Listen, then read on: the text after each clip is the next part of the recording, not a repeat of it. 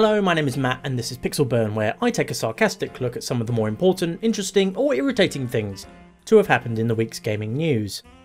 Peter Molyneux needs little to no introduction for most people, a BAFTA winning industry veteran with some of the greatest titles in gaming under his belt, such as Dungeon Keeper, Syndicate and Magic Carpet to name but a few. Molyneux, nevertheless, also has a reputation for ever so slightly over promising things, or, to put it more bluntly, 90% of everything he ever says about the game he's working on has about as much chance of happening as a polar vortex in hell. Presuming you ignore everything the Italian poet Dante Alighieri had to say on such matters.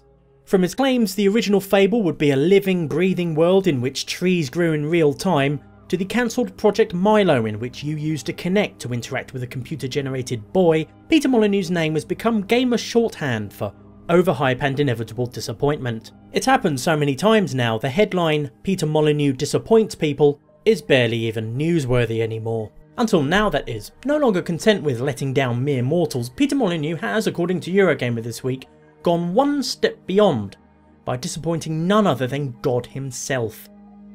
That is if God came from Edinburgh and his name was Bryan Henderson.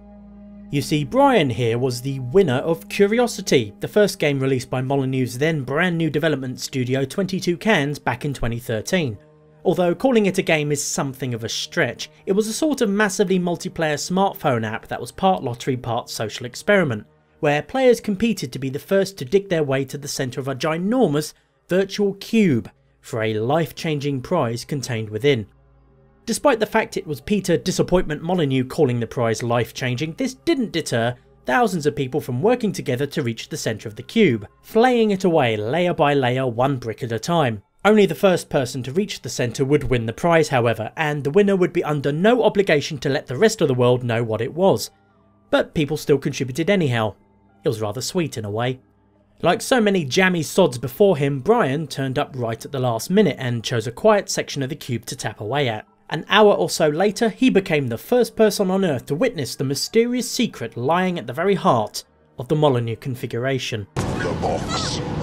You opened it.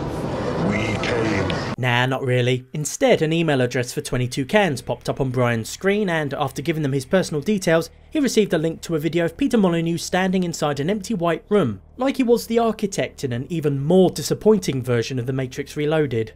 That wasn't the prize, by the way. I know we're talking about Peter Molyneux here, but come on, give the man some credit. No, the video was to explain to Bryan, and the rest of the world he was kind enough to share it with, exactly what he had won. That prize being the role of God of Gods in 22 Can's next title, Godus, touted as a return to Molyneux's God Sim roots in games like Populous and Powermonger. As top god of Godus, Bryan would reign over all the other in-game players, able to dictate events and other things about the game, so long as he could hold on to his position. In addition, Bryan would also receive 1% of the game's revenue for the duration of his divine tenure. The catch, however, was that Bryan's term as God of Gods would only begin after 22 Cans implemented multiplayer into Godus, and, well, that hasn't happened yet. Much like a lot of things that were promised to be in Godus. Unfortunately for Bryan, the contract he signed with 22 Cans didn't stipulate a time limit for them to implement the game's hub world feature, which would allow for God vs God multiplayer and, more importantly, let Bryan be the revenue earning deity he was meant to be. Meanwhile, Bryan claims all communication between himself and 22 Cans dried up not long after signing his contract, despite Bryan emailing them monthly requesting updates. Until recently, the last contact he'd received from 22 Cans was an email in January 2014 telling him someone would be in touch. According to Molyneux, the multiplayer was delayed because Godus's publisher forced 22 Cans to switch the server architecture they were going to use, meaning they had to develop all new tech. Yes, Godus has a publisher, even though the whole point of its original Kickstarter in 2012 was so 22 Cans wouldn't have to go via the traditional publisher route of games development, allowing Molyneux to develop the game he always wanted to without interference and yada yada yada bollocks bollocks. Speaking of Kickstarter, many backers have also yet to receive the rewards they were promised, such as the making of book, student forums and a Linux version of the game. Meanwhile, the PC version of Godus has languished in early access on Steam since September 2013, still technically in beta even though 22 cans are charging 15 quid for it. Which didn't stop Molyneux releasing a free version for mobile platforms supported by in-game microtransactions, the revenue from which Bryan hasn't seen a single penny of. and it's not as though the game hasn't made any money, far from it. According to Molyneux himself, the game has made millions and millions. Don't believe me? Here it is straight from the horse's mouth. Yes, Godus has made millions and millions. He could be exaggerating, of course. That is kind of Peter Molyneux's thing after all. According to this same update video, the team working on Godus has shrunk and is now led by designer Konrad Narzynski, a Kickstarter backer who didn't like the direction the game was going and worked for 22 cans for free until he could wangle his way into a position to make some changes. Konrad now has the unenviable task of turning the whole thing around before an army of lynch mobs descend upon Guildford. Konrad absolutely loves um, Godus, I think. Your suffering will be legendary, even in hell. Meanwhile, almost everyone else at 22 Cans has moved over to a new project with the working title of The Trail, a project Peter Molyneux describes as an experience never seen before that entertains the idea of communication beyond words by means of music, art, and so on, and will supposedly make up for what Godus lacked in narrative, progress, and reward. Funny how he refers to Godus in the past tense there. And by funny, I do, of course, mean you fucking what, mate? Some of you might have expected me to really rip into Molyneux on this one, and normally I would be a lot more brutal. Except PC gaming site Rock Paper Shotgun beat me to it with a blistering interview by John Walker, who gave Peter Molyneux the kind of verbal thrashing you simply don't see often enough in the gaming press. I mean, how many interviews have you read that start with the question, Do you think that you're a pathological liar? Ouch. And it only gets more brutal from there. So much so, in fact, that a number of games journalists have actually come out and criticised Walker for being too hard on Peter Molyneux. Others, meanwhile, have praised him for taking the sort of tough, uncompromising stance that the gaming press is usually far too spineless to do. You don't need to be a genius to work out where I stand on the matter. The very same day as his evisceration at the hands of Rock Paper Shotgun, Molyneux also conducted an interview with Laura Kate Dale in The Guardian in which he announced, perhaps unsurprisingly, that he will not be speaking to the gaming press ever again which is probably for the best, because however disappointed people were with Fable, Fable 2, Black and White or the movies, Peter Molyneux has rarely made an objectively terrible game. They might not meet expectations and some might be a bit mediocre or fall flat, but they're rarely absolutely awful like half the shit clogging up Steam. Had Molyneux not hyped them to the hills, I feel people would regard his games with much more fondness than they do now. And for all the criticism the Fable series received, at least Lionhead tried to do something a bit different with each one, even if Fable 3 was a gigantic step backwards from 2 in so many bloody ways. Molyneux has always struck me as an otherwise nice bloke, but at the mercy of his runaway mouth. A man who gets so caught up in the excitement of his creative projects that it becomes infectious, like a virus that makes you hemorrhage money instead of blood.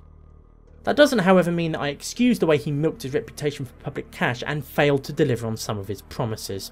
Gameplay features are one thing, but not giving out Kickstarter rewards and, most importantly, the shameful treatment of Bryan the God Who Never Was are failures on Molyneux's part that need to be addressed quick bloody sharpish.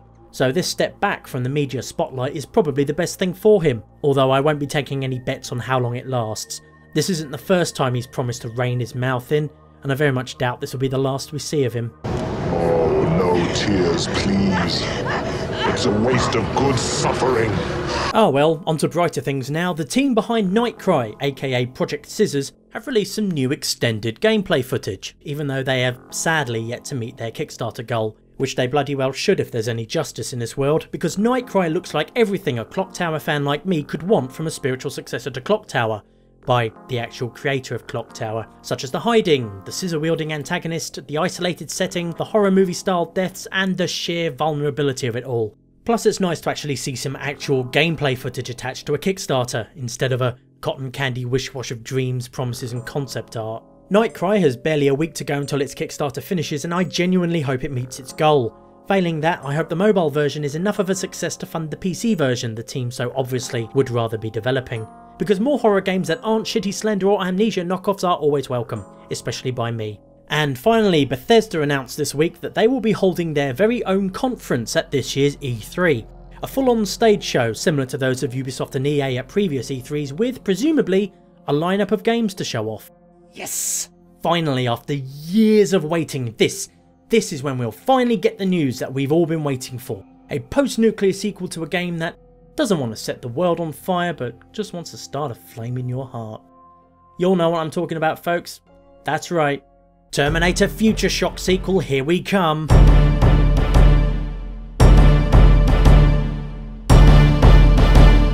Alright, so there probably won't be a sequel to Terminator Future Shock. We can, however, perhaps expect announcements for a new Elder Scrolls game and, my personal hope, Dishonored 2.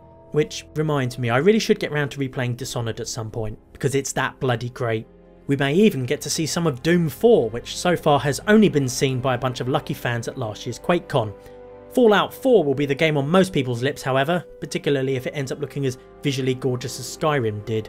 Although let's hope that's all it shares with Skyrim. I still haven't forgotten those shitty broken Bard's College quests, Bethesda. No lineup has been confirmed however, and while it's inevitable Bethesda will be unveiling some new games, they could still be bastards and not give us anything about a possible Fallout 4. So don't dust off your Vault Boy bobbleheads and Brotherhood of Steel armour just yet. And if they announce a sequel to Rage instead of Fallout 4, I will be most bloody annoyed.